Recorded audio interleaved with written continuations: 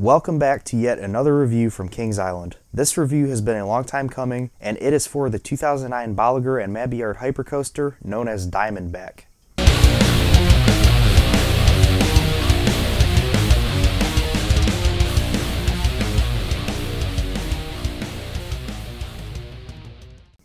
Diamondback is one of only two B&M hypercoasters I have currently ridden, the other being Intimidator at Carowinds. Diamondback is a very unique hypercoaster in that it is the only hypercoaster in North America to feature a splashdown element. This is quite a humongous ride as it stands at a whopping 230 feet tall, features a 215 foot drop with a top speed of 80 miles per hour, and has a track length of 5,282 feet for a drop to brake ride time of 1 minute 5 seconds. As you will notice, this is quite a long ride that really takes you through a journey along the woods of Rivertown, as it is right in between Beast and Mystic Timbers.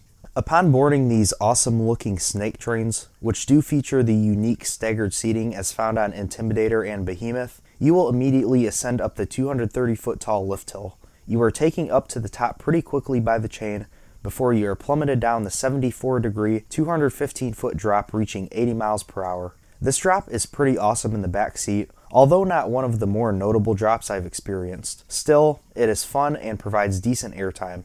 Following a bank to the right, you go up into the first of many huge floater airtime camelback hills, where you get some really strong floater, then you bank to the left and pass under the structure and go up into another huge floater airtime camelback, getting more great sustained floater air. You then hit a hammerhead turnaround to the left, and after dropping back down, you will go over yet another huge floater hill, which is very lightly trimmed. Following this hill, you dive under the supports again and make a left tight helix into the mid-course brake run. This helix is actually pretty forceful as you are just flying through it, still with great speed. Following the mid-course, you regain a lot of momentum and make your way over two bunny hills that have yet more fantastic floater air, not quite as strong as the big camelbacks though. You will then go through a tight upwards helix to the right, and then into the ride's magnificent finale, the splashdown. Following this, you pop up into the brakes, where you will experience a brief pop of air to finish off Diamondback.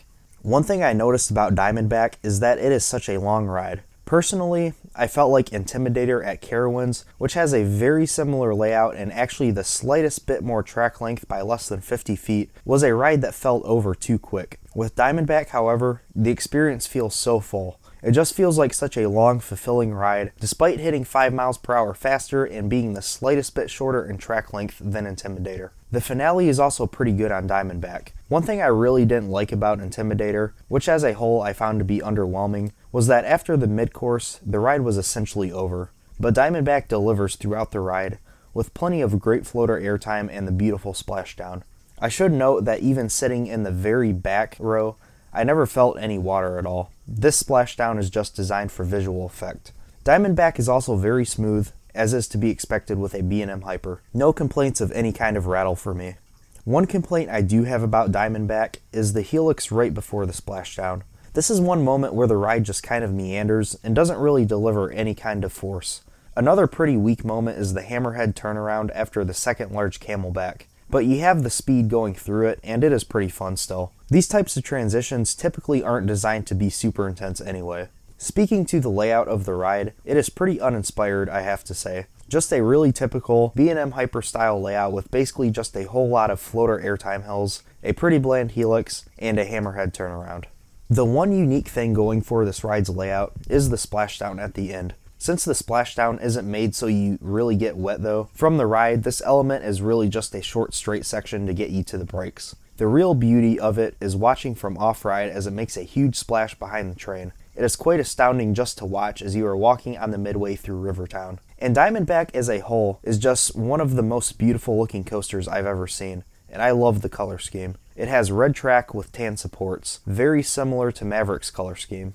Addressing the trains on this coaster, I must say that I have come to the conclusion that I do enjoy these staggered seating trains. I have experienced the typical four cross seating on Fury 325, and I don't think I'd say I prefer one style of seating to another, but the staggered seats are very unique, and I do really like being able to choose between two different ride experiences. One thing that makes this style of seating interesting to me is that if you want to get a front seat ride, for example, the second row can also serve as a great alternative front seat ride experience. When I decided I wanted to ride this in the front, I actually opted to sit in row 2 as I knew that ride specifically would be my last ride of that visit, and my other rides that day were in the back inner seats. However, I also really wanted to experience this ride from the outer edge, so I was able to get row 2 which was an outer seat, but also still very much feels like a true front seat ride. So I was able to get both a front row and an outer seat experience in one ride, since you don't have anything directly in front of you with the outer edge seat.